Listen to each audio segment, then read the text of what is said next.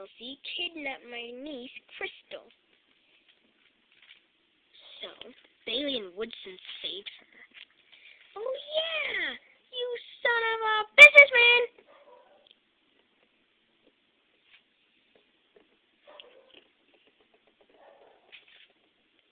What? I couldn't let her say the other word. There's children watching. Oh, my bad. I guess it would be businesswoman because that would be his mom.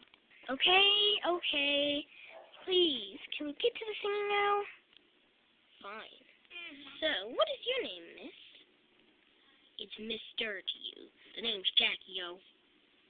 Oh, sorry. Yo, yo. Excuse me for my perception ways. So, are you a native in these parts?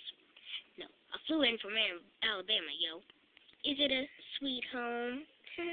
Get it?